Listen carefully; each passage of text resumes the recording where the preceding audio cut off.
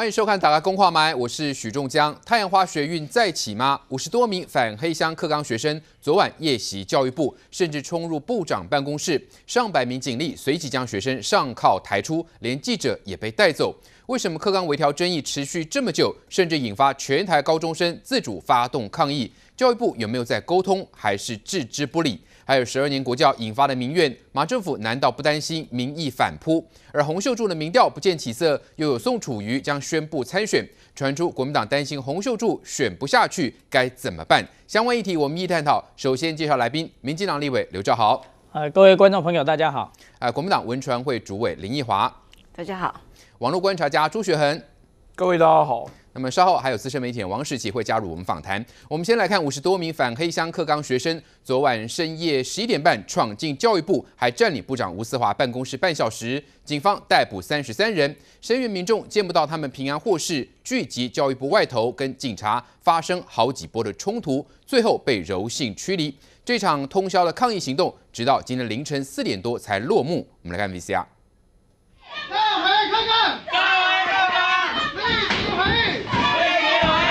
教育部长办公室的逮捕过程曝光，画面左边，远警扯住男学生右手，拉人拖地，直到他摔得四脚朝天，先是膝盖一压，再反剪双手准备上铐。画面中间，已被两名警察压制的男子呈现人字形趴着，完全无法反抗。警方几乎控制现场，但看到部长办公桌旁有人录影。你不要碰我，我在录影机，你不要动我。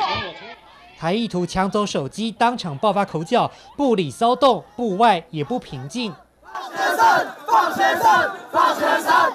周四深夜十一点多，约五十多名反黑箱克刚成员架梯子翻围墙闯进中庭，还攻上二楼占领部长室，将椅子堆叠门口，用网路线缠绕固定。但三十五分钟后，警方攻破，抗议学生分别遭束带或手铐制服，暂时带往后方的联合大楼。教育部外面聚集了声援的同学，从凌晨一点到三点，速度与警方推挤，有人甚至不满洒水。中正一分局副分局长李全哲到场说明，被捕学生已经带离现场，劝群众回家。凌晨四点十五分，举牌警告非法集会。依照我集会核准的时间，只要到十点钟。好，队伍向前进。警方采用柔性劝离，虽然拿盾牌持续靠近抗议民众，但动作表情并不紧绷，像在散步。执法强度跟部长室内拖地上铐的手法完全不能比。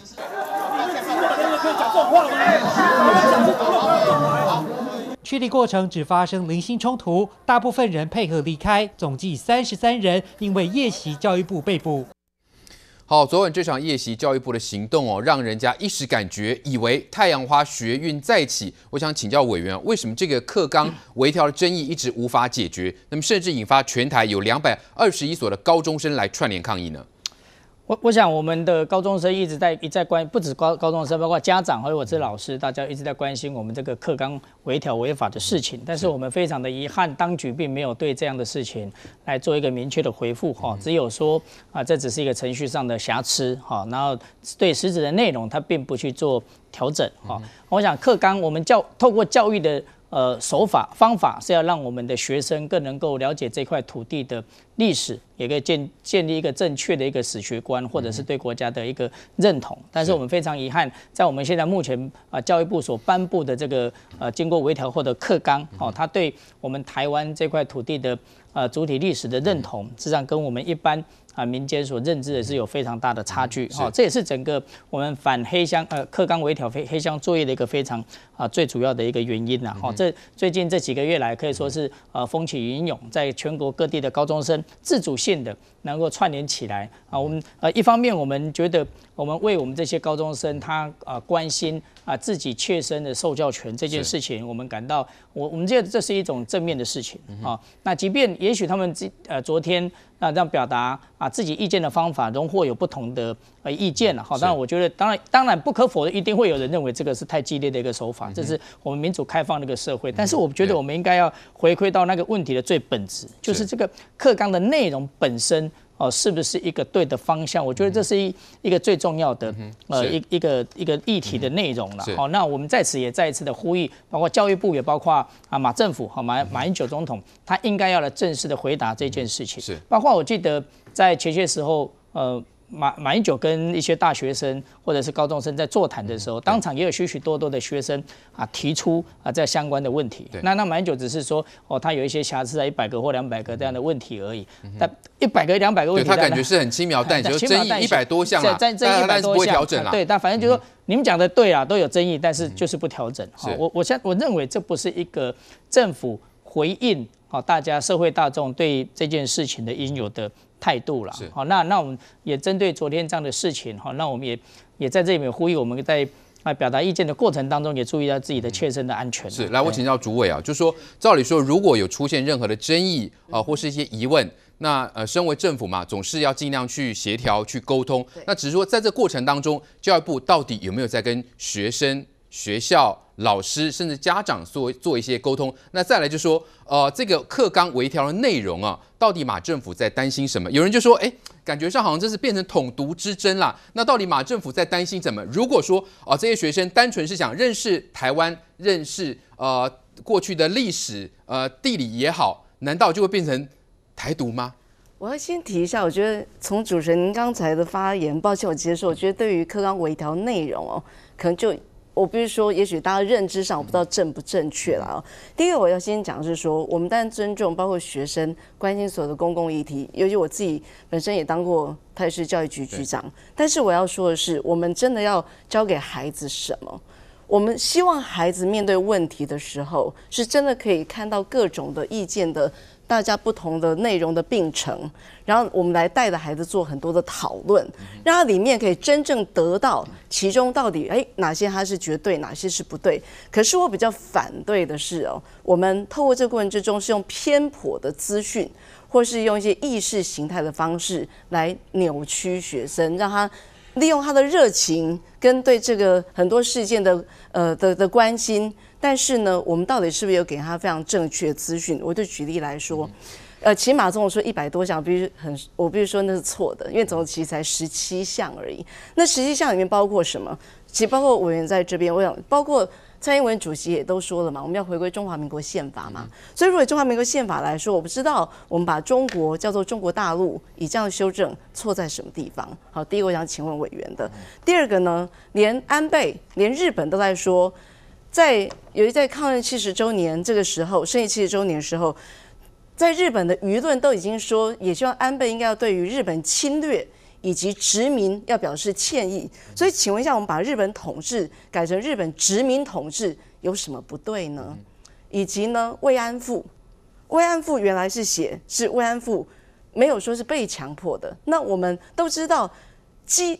我们那那时候的妇女很多是被迫去做慰安妇，所以把它改成妇女被强迫做慰安妇有什么不对呢？所以我就不知道说，当我们把这些内容都摊开来看的时候，是不是应该大家更理性来做讨论？但是因为从去年太阳花之后，当我们冠上黑箱两个字，你看学生就慷慨讲哇黑箱黑箱啊，是。但是呢，一样我们在教育局我们看到，其实现在程序。跟过去当初陈水扁一样，有所谓的九五站纲、九八课纲，程序上是完全一模一样啊。那目前在法一样一样，法院中现在在判断是没有一样。我等下可以说，我们可以来讨论，但我可以讲。法院目前有意见是说，你没有公开委员是谁或者会议记录，但是其以会议程序来说，本来这些东西都是到最后才公开，并没有针对说程序内容有何不对。那也许不一样是以前是教育部，现在是由国教院来负责。中间我们大家当然可以对程序在讨论，这部分我也想我也是有准备而来啊，我们都可以非常理性来探讨这些内容。但我比较希望是大家很。真的是很客观的，把所有的资讯都呈现出来之后，我们再来做一个很理性的讨论。是，来我请教徐恒，你怎么看？现在看起来双方好像都是各自觉得对方是意识形态在作祟了，只是说现在这个课纲微调被人家诟病，就说啊可能不够透明。再来就说这些课纲的微调小组呢，呃，召集人是找了所谓的一些统派的，并非真正历史专业的人。呃，我觉得其实就今天这样的事件发展啊，我想。抗争是所有人的权利，那不管你成年或未成年。但我有一点稍稍觉得不满的，就是那成年人也得要负一些责任呐，你不能让未成年人小朋友去冲，冲完了，然后第二天早上再出来讲说，哎，希望释放啊，希望遵照程序。我其实是认为，你昨天晚上如果觉得应该要跟他们冲的话，大人就要跟着一起冲。那你不要讲说，哎，这个小朋友他们自己的行为，但小朋友也需要大人协助嘛。那我是认为，今天早上有一些立委事后诸葛才跑出来说，呃，释放、释放、释放。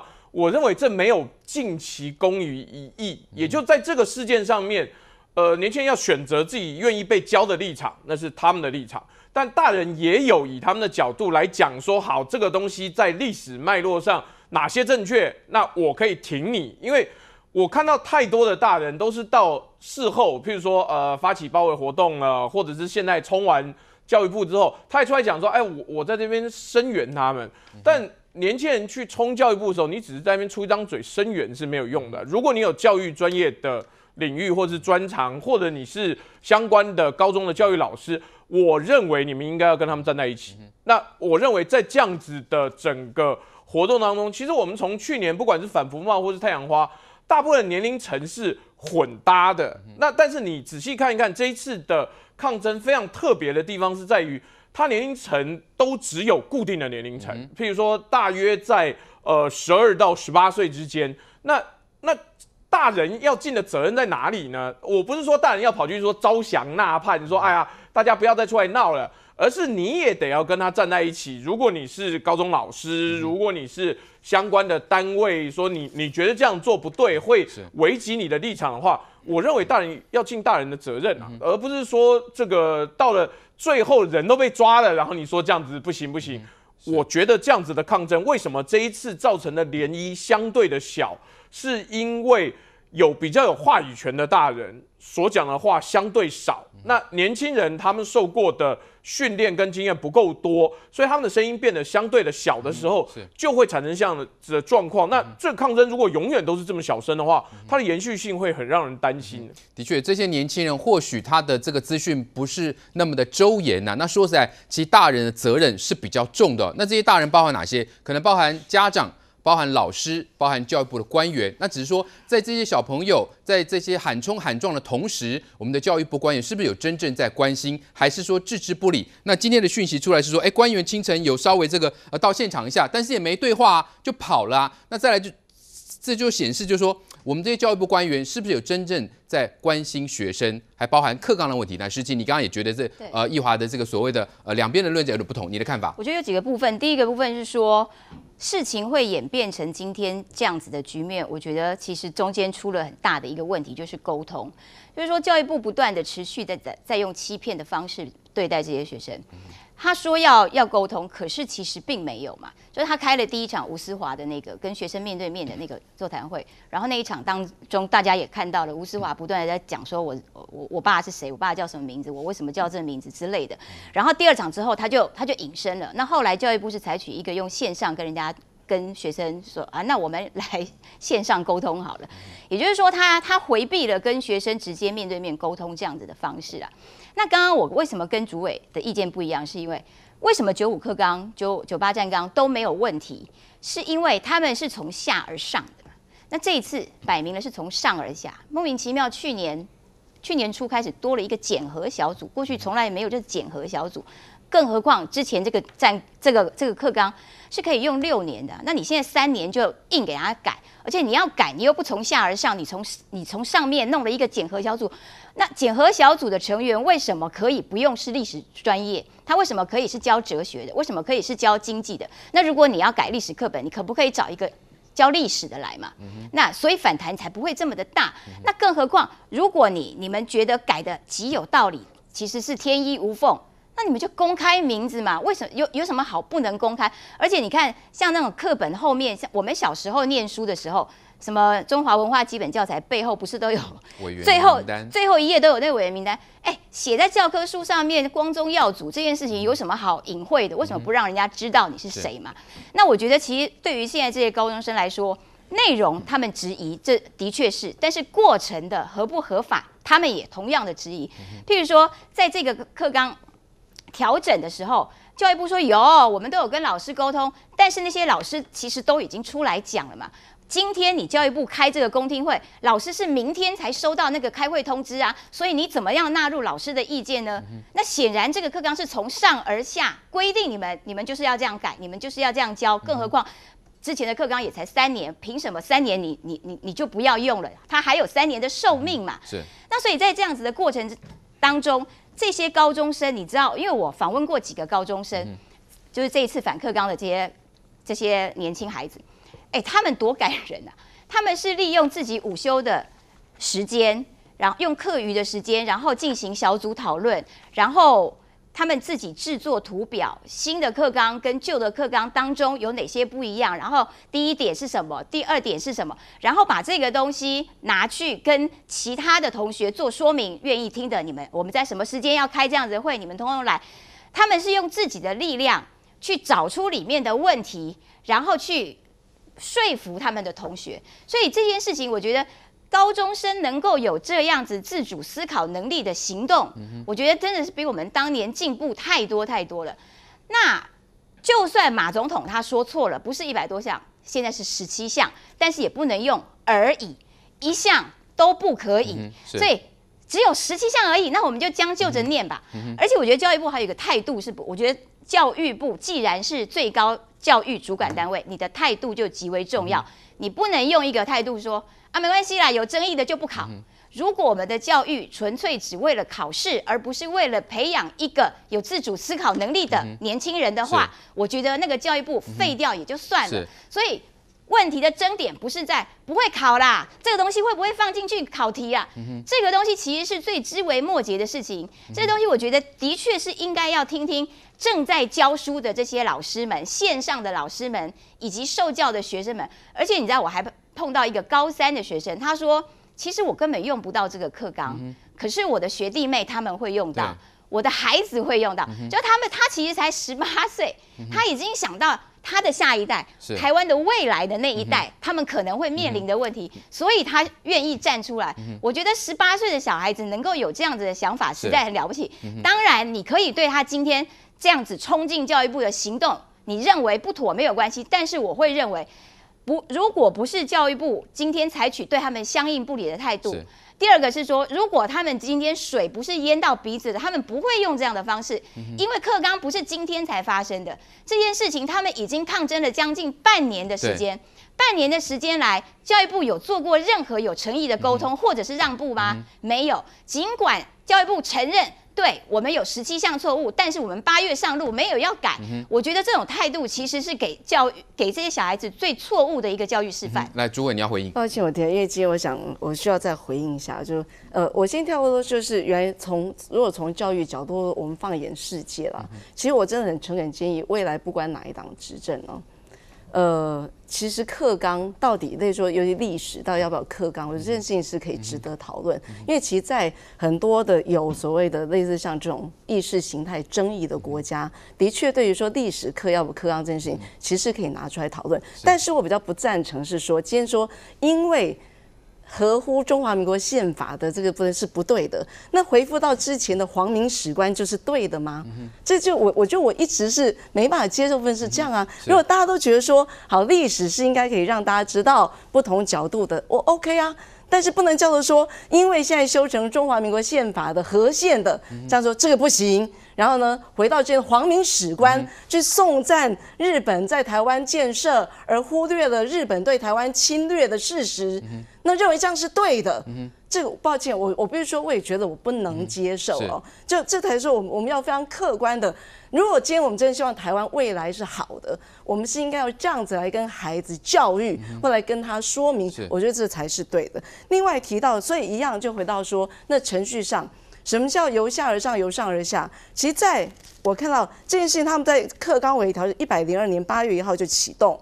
而且也经过半年的程序，中间呢一样的成立了有学科的，还有客户发展的工作圈，然后一样有分北中南三区召开公听会。那刚才呃实习提到检核小组这部分也是按照中央行政机关组织基本法第二十八条规定所成立，本来就有这样的任务编组，可能中间的法令上有一些修正，以前是由教育部负责，现在是由国教院负责，但是它的程序完全是按照这样的过过程，所以包括监察院也对程序。序的部分做过相关的检视，发现程序上是没有问题的。但是对于说要不要公布委员的名单，这个本来最后就会公布嘛。我再举个例子，就是说，就像这次大家有没有注意到，台北市的高中生也有针对校长遴选的事情，要求台北市教育局公布。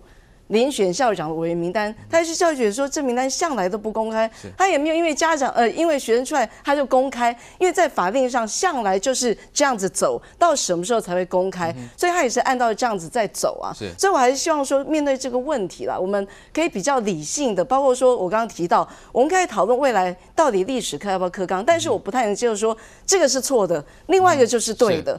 台湾本来就存在不同的思维嘛，对，那不同的思维，我们应该是要让不同的思维能够在中间做一些成员，或让孩子在面做讨论。是，我觉得未来我们的教育，我比较期待是这样。来，我请教委员啊，就说这个不同的史观就一定是冲突吗？也就是说，这个呃，不管是到底是不是所谓的中国史观，或者说台湾史观，那到底在这当中是谁在资为这个 锱铢必较？到底谁在意识形态作祟？哦，因为如果说啦，我们只是单纯想说多了解台湾的历史跟地理，那如果说把台湾史把它纳出来，那就就会走向台独嘛？就说这到底是两边是呃，就是是怎么样去？那再来就说还有符合宪法的问题，那大家可能会觉得说，哎，符合现行的中华民国宪法难道有错吗？那只是说现在的中华民国宪法是不是感觉有点过时了？呃，我我跟这个林主任实际上还有共识了，就是说我们台湾真的是有在啊在。历史的认同上，国家主体认同上，坦白讲是有一个非常大的呃旗舰啊。当然，这个比例大概多少，我们没有目前没有办法去出估了哈。不过从呃我们现在所能呈现出来的呃各种的民调看起来啊，认同台湾。呃，是一个主体呃主权独立的国家，那个趋势是越来越明显。所以我们在台湾目前的最大公约数，应该就是等于台湾就是等于中华民国嘛，台湾就是中华民国。然后这个中华民国很明确就是台湾、澎湖、金盆、金门、马祖。我相信这个是。绝大多数人的一个公约数了啦。那那即便当然有些人认为他他叫应该叫台湾哦，不过至少在中华民国是目前大家各方都可以接受了。我再强调一次，这个现状就是台湾、金门、马祖、澎湖。所以基于这样的出发点的史观，绝对跟我们主任所讲合乎宪法那个他们问题是他们现在这一部的宪法，它那个史观。可能是包括秋秋海棠，那请问一下蔡英文最近说的回要要依照中华民国宪法，他的宪法，难道不是我们认知的宪法？很简单，我们从来没有统，我们从来没有统治过中国大陆一天，中国大陆也没有统治过台湾一天，所以非常明确，我们中华民国，我们我们中华民国，中国大陆，我们中华，我们中我我跟你讲。我们没有那么，我没有那么计较你到底是称它中国或是中国大陆，但是我们非常明确的就是说，我们在称呼中国大陆或中国的时候，那个是跟我们的中华民国或者是台湾是完全不一样的主权独立的。好了，你不要说国家，不管自前主权独立的存在，我这样子很勉强的这样说可以吧？因为即便即便即便你们所提出来的总统候选人，如果用按照你这种标准的话，那洪秀柱应该撤销提名啊。因为你你讲的他是完全不符合我们中华民国的宪法，他说中华民国不存在啊，没有这样讲啊，他啊不然那那已经白纸黑字他说嘛，对不对？那句话是他非常讲，那句话是他哦哦再怎么陈述。如果今天是我是再怎么陈述，我都不会陈述有一句话跑出来说中华民国，我们不能讲它是个国家，只能讲它是政府。再怎么陈述，我也不能陈述这样子。再怎么陈述，我也不能陈述说啊，我不算是一个独立的人。是好，再怎么陈述都不会这样。再说我不能陈述，你先让我讲完嘛，好吧？OK，我所以我说你讲没有错，政治认同大家都有歧义，基于这样的歧义，所以会发生发展出不同的历史的认同。但是我们也反对说我们。之前的客观，你叫所谓皇民化等等，我觉得是这样。对对，日本曾经在台湾统治的那段时间，荣获有不同意见嘛？他当然有做建设，他当然有对台湾呃这个百姓有不好的地方，这个是我们非常明确认知的点。但是不能再讲说我们，比如说看我们看卡诺那部电影的话，我们看那部电影，大家觉得欢欣鼓鼓掌，就说我们接受皇民，我我是比我是比我。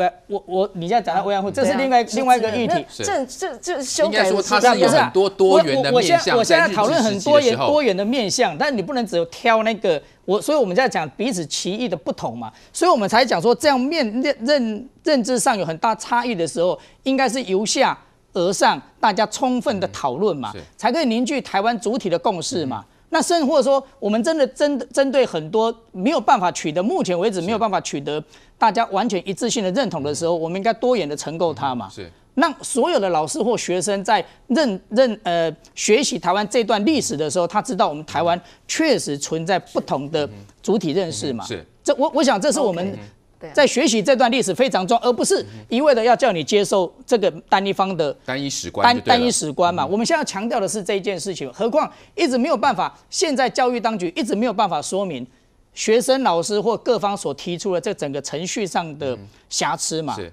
包括包括你你你。找好了，你要编史纲啊，你总找个历史专家嘛。你为什么要找那堆？我们一看就不知道他不是他所学的是另外一部分的，而且他的意识形态是那么明确的表示出来，他对国家认同意识形态，那难免人家会很大的不服气嘛。是来的主委你要回，恐怕最大问题不在于就是说你可能不能只有单一史观，因为毕竟这整个呃历史的历程，以前的也是单一史观呐。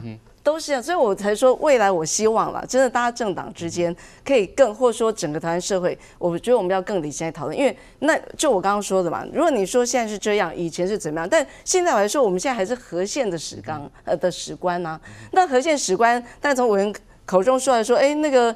那代表就他们是否认中华民国宪法了嘛？那我就不知道为什么蔡英文主席又说他要依照中华民国宪法，这点我觉得就是我在明确表达就是非常非常中华民国宪法的效力只有目前。就是只有在台湾、一个中国的原则，然后我们是治权分立啊。我们的宪法可以我们治权不同，不不给予他，他不给予我们的宪法现在可以拿到拿到福建去用，拿到去那个上海去用吗？嗯哼，我们的我们宪法，我们治权不给予他们，没错啊。我的宪法，我的宪法可以拿去那边用吗？那我好，恐怕这个对于这个二零一六的，但是我想再提一点，就是说，我觉得在过程之中，为什么说其实有很多的是误导跟扭曲？举例来说，刚有提到说吴思华部长，其实他有去参加。座谈会之后，但有个老社团提出说：“哎，新课刚刚讲的喜马拉雅山是中华民国最高峰，抱歉了，并没有这件事情啊。”但是我就觉得，就一直给这种错误资讯，什么叫二二八不见？二二八还从说明栏变成事件栏，还要你。要多教二二八的内容，白色恐怖的内容，但是呢，都扭曲说，哎，不见了，没有了，或者说公民课里面没有，他只在历史课。但但是我先说，但是要听一下公民老师的意见嘛。公民老师认为白色恐怖这件事情，其实公民课里面讲的是价值，历史就是史实。我自己当觉哪个老师叫做说课本有写我才教，课本没写我不教。那为什么要放在课纲里面？历史课有，而且更多。那如果其他的也。应该教，其他的也应该教，那其他的也放在课纲里面啊。那为什么只能用这个课纲？那其他的都要用自己去念书呢？这不是叫误导学生吗？恐怕现在有关教育的问题哦，就所谓的单一史观可能会成为二零一六总统大选的一个重要课题。那么当然，在国民党的部分，洪秀柱在选战的中后期是不是有可能选不下去呢？这是周刊所报道，也对国民党来说是一个重大考验。我们先休息一会儿，马上回来。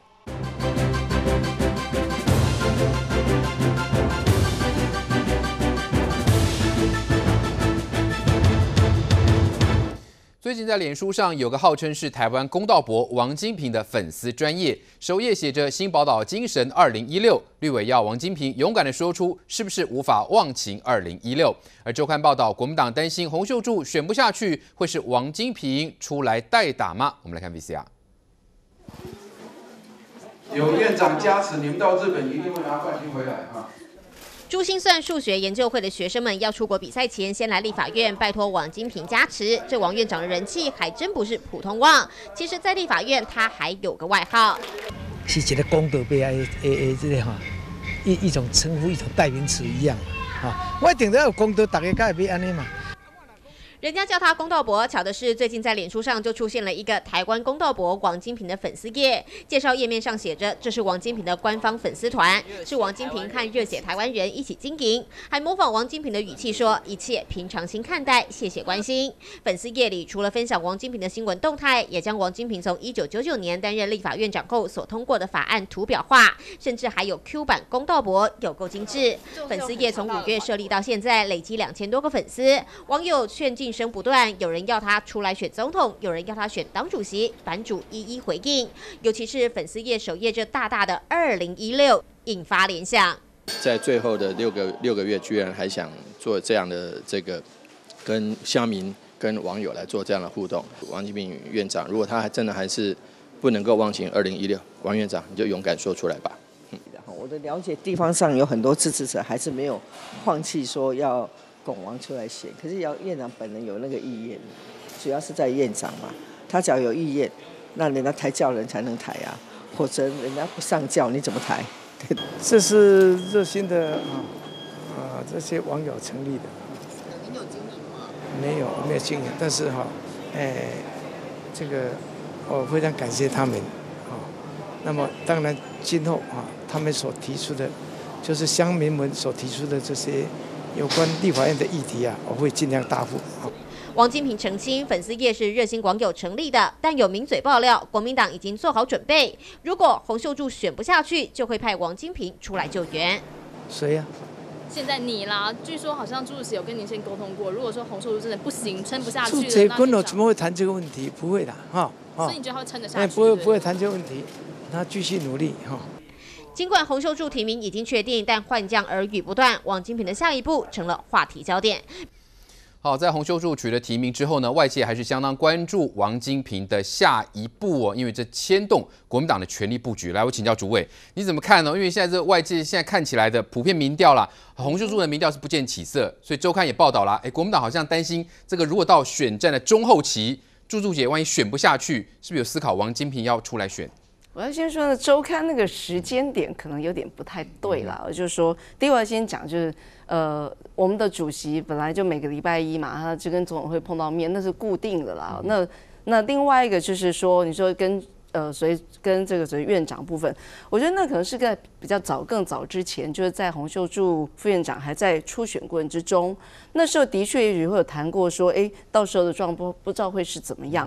可是以目前为止来讲，其实都已经非常确定，包括说党部这边，我们跟他们的洪洪委员的办公室、洪副院长办公室，大家都密集在开会。昨天他也从他的出生地月梅已经出发了，所以我觉得那个部分应该是时间点上一个错置跟误会。所以现在来说，已经是全力的，就是不管，但民调。我们部分我觉得是给我们一个检讨跟参考，但对现在来说，我们怎么样有步骤的，那能够包括说政策上的呈现，以及怎么样让大家更了解洪副院长，这从昨天出发已经正式开始了。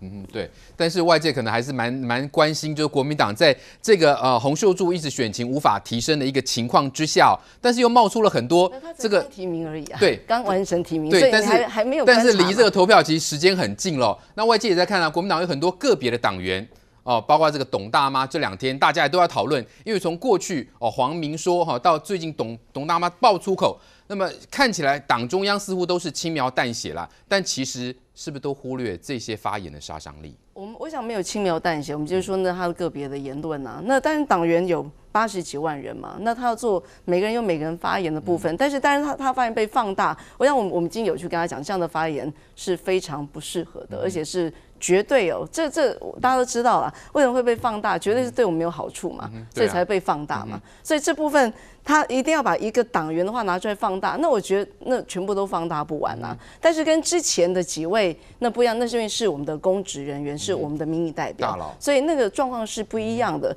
那我觉得不能说叫做中央党部就要必须要对每一个党员说的话负责，那民进党也不可能做到这样子啊。所以我觉得这个部分，呃，我我们的处理，我们那当天马上就发出声明，说他这个言论是。不恰当的，而且是不应该是有这样的发言，而且我们希望你我们的党应该到非常理性在，在选举中做任何的评论。那也他的发言也绝对不代表我们。来，学文你怎么看这些发言？看起来其实都让人家觉得国民党是不是嫌票太多？感觉上这些都可能会把一些中间的，或者说一些浅蓝浅绿的选民都给吓跑。因为我我每每天早上在玩线上游戏的时候，我都会想起来一句话，就是不怕神一般的敌人啊，就怕猪一般的队友。但我觉得国民党对这些猪队友应该要好好的管理一下，因为我坦白讲啊，我不觉得开除董大妈有什么错的，你知道这个很白目，从以前到现在都这样，而且实际上就我们外人角度来看，我都不知道他到底是共产党还是国民党。那在这种状况之下，既然这是一个单独党员的个别的损及党声誉的说法。就把他开除掉就好了、啊。我现在怀疑他有没有在缴党费嘞。那我觉得还要这个说他这个，而且他还可以参观呃我们的立法院以台商代表的一个身份呢、哦。我真是认为这是一个很糟糕的范例，甚至还有没有办法查证的说法。之前有讲说很多台商有收到他的 email 说，哎，那大家以后就不要买这个什么鳗鱼苗啊，或者不要来台湾这个观光啊，看台湾这些民众能撑到多久。我认为这个人其实心已经不在台湾了。那对他来讲，他身份可能是台湾离开的商人，或者甚至他跟中共统战相关单位的合作还更密切的时候，国民党把他开除掉无伤啊。我不知道为什么大家会这个在这边觉得对他轻轻举起、轻轻放下就好。那他讲话确实很过分。那基本上我都想不起来上一次政坛谁会骂其他人什么狗男女什么东西。这我已经很多年没有听到了，而他有这么过分的话，他又不能代表国民党，但他偏偏是以国民党员的身份在讲这种东西，那我认为开除没有什么问题啊。那我不知道国民党客气什么东西啊，就开除啊。大家至少，哎，我就算不是国民党啊，我也会说，哎，这个开除了好。那反而有争议的被开除掉，就董妈妈留在这边，说我每次见到季国栋，我见一次笑一次。我说，你看董大妈这样骂狗男女都会被开除，就你被开除，哈哈哈哈！就是感觉上国民党对于这些呃标准轻重哦，其实都很难去预测哦。就董大妈这样是一而再再而三哦，就反而都是轻轻放过。那再来，他提到那个所谓的差男女，说实在。对亲民党也是很大的伤害啊，对宋楚瑜也是很大的伤害。那现在如果说朱立伦还想说，哎，再去见一下宋楚瑜，还要谈国青合作，你觉得这国青来时期你怎么看？国青还有可能这样合作下去吗？就是又要见人家宋楚瑜，然后又有人这样子骂宋楚瑜，我觉得朱立伦其实也不用见。我觉得那个重点是在标准啊，就是对国民党来说，那个标准到底是在哪边？为什么对这些人上电视的这些人，他可以是这样子的标准，可是对？这位董大妈却是这样的标准，而且董大妈其实不是八十几万党员当中的一个而已啊，她是党代表嘛，就她的头衔很多，而且我觉得最重要，大家其实期待看到说一个党到底对于这种事情有怎样子的一个态度。那所以当你朱立伦主席在面对记者访问的时候，你就不可以轻描淡写的说，我记不得那么多党员的名字，因为。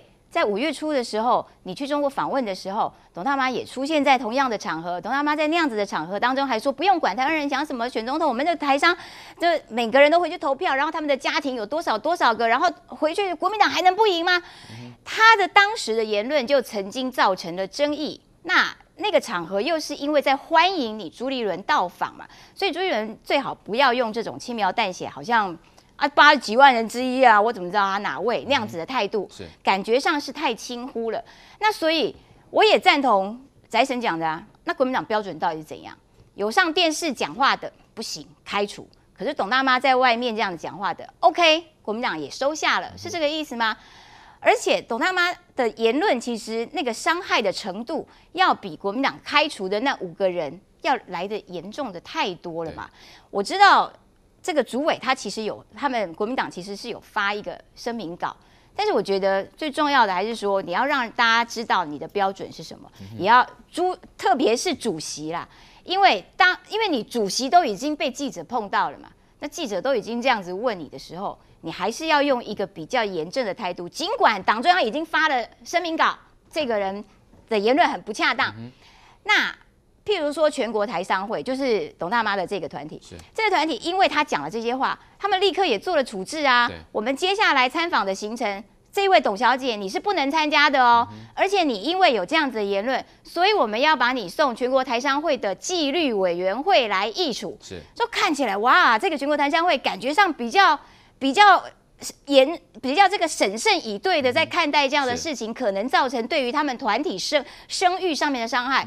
那比较起来，哎，国民党好像比较不在乎声誉受损，感觉上应该是有有很有志气啦，觉得自己票应该是很够了，所以也不在乎这一点小伤。难道是这个样子吗？我觉得这种东西才是造成年轻一辈。价值错乱的很重要的一个原因。对，其实我们发现国民党对于很多事情哦，感觉上大家重视的，他反而轻忽掉。包括我们前面讨论的这个呃，这个所谓的国教问题啦，还有这课纲问题啊，对不对？感觉呃小问题最后慢慢变成大问题，到最后变成一个危机。那现在同样，董大妈不也是这样的一个情况吗？那董大妈这样说三道四，又把把不把这个国青之间又把它讲成这个样子。那说实在，宋楚瑜如果说今天要出来参选，这是他的自由啊，民主社会我们。不就是本来就是可以参选吗？但为什么国国民党内自己的人，而且还是党代表，要把宋楚瑜仇视成这个现在已经。不是党代表，他这并没有参加我们的党代表大会了，OK 所以那可能有点误会了嗯。就之前的确是，但现在不18是19届并不是了。对，但毕竟他的一些发言的确是造成一些外界的关注嘛。来，委员你怎么看？呃，首先，我我们当然知道，身为一个党主席，他当然没有办法去控制或管理所有党员的行为或发言啊，这个当然我们任何党主席都做不到啊。但是问题是，他如果出现众所瞩目的，而且大家引起大家关注的负面的言论的时候，党主席当然要有一个态度了。我们相对啊，朱立伦主席这样轻描淡写的说他记不起八十万的党员的名字的时候，事实上这这个我无意评论，但是我请大家做一个比较。大家还记得在一两个月呃前段时间呃传出我们的国民党中的候选人侯秀柱有健康上的问题的时候，在第一时间蔡英文主席就马上非常呃严厉而且明确的来呃对所有的竞选团队的伙伴还有党党公职人员说，不能拿这个做文章。我想这是一个态度了哈，我是我是做这个比较。另外一个比较是说。洪秀柱身为候选人，他当然知道外界对他的一个观感，在国家认同上的一个观感，所以他试图的，包括昨天在台中，他有人帮他唱台湾喜兰的名，或者是在呃这个全代会上，他说有举美丽岛或用台语发音来等等。我在想，他是试图要往中间靠嘛，让降低大家对他这个统派的色彩的一个观感。但是我们非常遗憾的，在发生董大妈这样的言论的时候，在发生那个全里长那个一个台北市里长在全代会的发言的时候，我们却不看，却没有看到洪秀柱也好，或者朱立伦也好，能针对这样不当的发言，他们提出严正的一个指正。哦，我相信这是一个很大的一个落差了，那我们不禁怀疑，难道你所讲唱唱讲几句闽南语或唱几首闽南语歌，只不过是宣传上的一个工具？那相相对相对来讲，这是一个价值判断嘛？也许他们认为这两位的言行。的对国民党的迫害不会比不上季国栋那五个人啊，所以五个季国栋这五个人要赶快把他开除。那这两个反正留留校查看，或者是根本不用留校查看，他们对他们不会造成影响哈。所以我是试图要做这样的比较，让大家做一个评评论这样子。是来来，朱文你怎么回应？嗯在国庆之间，现在如果因为这样这么多的风波之后，呃国庆还有合作的空我间吗先？说一下啦，那天我们立刻在当天就发出声明，那我们的声明单就代表主席嘛，因为是党，我们讲的就是代表党的立场，所以就已经有讲说呼吁。不应该要在选之中有一些这种攻击的、不理性的言论。我想我们马上，那这这代就代表朱主席的一个看法了。那呃，在宋主席部分，我觉得应该是要回归到我们从之前，包括朱主席，他从一开始要去拜访。他上任之后去拜访我们的宋主席，然后之后呢，一路过来到这几天在中常会，他也都提到了，说还要不断的希望能够有机会可以去拜访。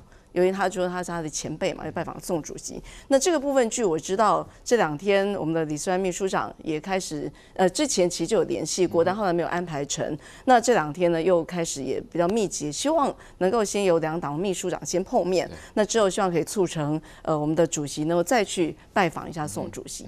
那当然，我想以现在来讲，以整体来说，还是回归到一开始。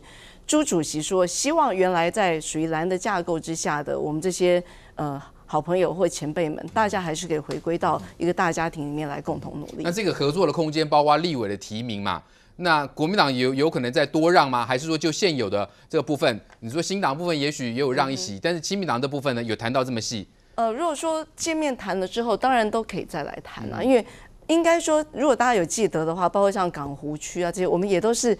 拖了很久很久很久才提名，就是本来就是希望说能够有合作空间，但现在我们都觉得还是，呃，也也为时还还不晚了，还是有这样一个，希望还是可以大家有彼此合作的空间。如果以目前现在民调来看哦，国民党自己的评估，呃，就是立委席次，呃，之前周刊也报道，大概就是说四十五到五十席啦。当然，是说这个思考的角度，可能有一些，就是说国民党的思考可能还是觉得经济选民是不是？呃，仍然蛮左右，就说呃，这次的二零一六的总统大选，可能民众会担心这所谓的两岸和平红利，如果是绿营执政的话，可能这个部分会消失，有这样的思考。呃，我我等下，因为我们自己选举过的人哦，我都觉得现在讲民调都不准，或多少席，现在其实都不准。但是我觉得说那都是一个参考，然后让我们能够更努力的来应该做在选战中应该要做的事情。所以我觉得不管是立委的席次、总统民调，我们现在的确在国民党来，我也不否认，对我们来说是比较艰困的。可是艰困再怎么样，就跟民进党也一样。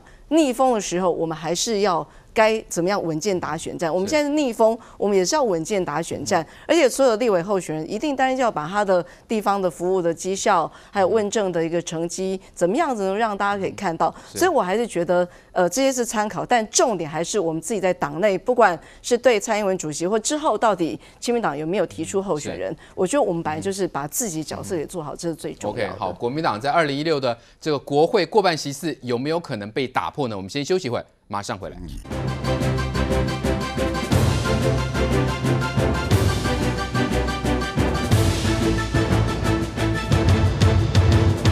好，亲民党主席宋楚瑜呢说，八月份呢就会宣布是不是要对外参选。来请教学员，你怎么看？宋楚瑜如果出来参选，对于二零一六这个大局会不会是产生一个关键的影响？那么我们看到媒体也说，这邱福生说啦，其实对大局是没有影响的。这是不是也在跟蓝营说，其实国民党你可能要习惯宋楚瑜出来选，因为毕竟呃在这样的一个情势之下，其实宋楚瑜出来选，可能是对于他自己的党要自救是比较有帮助的。呃，整体看起来啊，宋楚瑜能够影响的，呃，虽然你说可能泛蓝泛绿都有，但可能还是泛蓝居多。那但是要说产生弃保，我想这个几率真的没有办法让人理解到底是哪来的自信哦，可以让大家觉得说啊，那我弃保这个洪秀柱反正不会当选，去投宋楚瑜，你投也不会当选啊。至少就目前的民调看起来哦，你双方都跟领先集团，也就蔡英文差大概十个百分点以上哦。那这种状况之下，弃保是不会发生的。大家手上就那一张票，就自如果弃保的前提是建立在逻辑上，大家认为自己票很宝贵，我希望我比较认同人能够当选的话。啊，这张票以目前状况看起来，你如果是泛蓝，你投给洪秀柱跟投给宋楚瑜，两者没差呀，那你不然揉一揉丢掉。所以这次泛蓝选民是比较不会焦虑吗？那还是说国民党是自己在焦虑？因为大局现在非常的不利啊，就像我们刚刚讨论到，现在是逆风啊。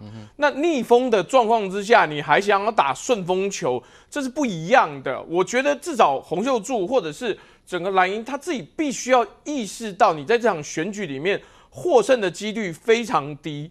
你的选举策略应该是至少把对方。呃，所有提出来政策，你能质疑、能分析都分析完，等到他执政之后，也许下一次你还有机会，你至少可以讲说，哎、我质疑过蔡英文的这个方式、那个方式，我骂过他政策不完备，我骂过他两岸关系没办法处理好，好，所以我之后可以顺势而起，说，哎、你看我当年先知，我是一个公道伯。但以目前的状况来讲，我还是觉得宋楚瑜他现在能够做的。大部分都是对亲民党有利，是你能增加亲民党的投呃获得的票，然后立委形式，还有政党补助金等等等等。嗯、但是说对国民党有多大的影响，我认为是真的不大啦。什么分开投票的动机，我都觉得这真的很小。难道会有国民党的立委说，哎，不好意思哦，那这个接下来就立委投我啊，票投宋楚瑜？嗯、是那那人家就干你什么事呢？奇怪啊。我立委要投你，是觉得我认同你地方服务，嗯、但我走走投谁干你什么事？嗯、而且国民党如果现就是现在像我们以季国栋为标准的话，那你敢找这个宋楚瑜出来选，或者你敢叫站台，或者敢叫大家票投宋楚瑜，嗯、那被开除啊。那如果以这个事来看，那可能国民党不会当选，那连国会席次可能也变小党。如果在这样选票分分裂的情况之下，我觉得要谈国庆合作这件事情，其实完全不可能嘛。就是你光看基隆那个地方，你郝龙斌要去跟人家的指标性的刘文雄去争的时候，就摆明了这两个党已经没什么好谈的，所以其实见面也不用见了。而且，亲民党其实这些年来也已经跟国民党划清界限，划的也差不多了嘛。那所以国民党其实也不用笑想说，就算宋楚瑜不出来选，宋楚瑜的票会跑到国民党，他们其实就已经是河流了。那所以宋楚瑜的目的很清楚啊，就是冲政党票而已嘛，因为抢总统他还抢不到。